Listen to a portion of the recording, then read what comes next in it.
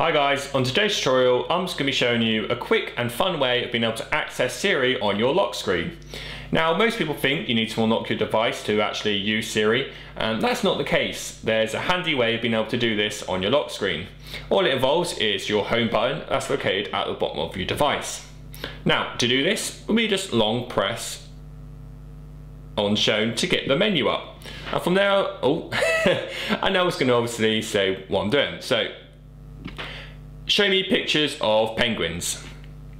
So you can actually have full access to Siri on your lock screen and there's no comp compromising on that. We can still have the tap to edit button at the top if we want to type in certain things and we can also press on wherever we want to have a closer look. Obviously once we're back out we'll still be back on the home screen and we can then go ahead and unlock it.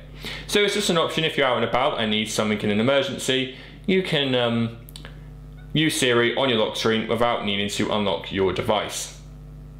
Thanks for watching.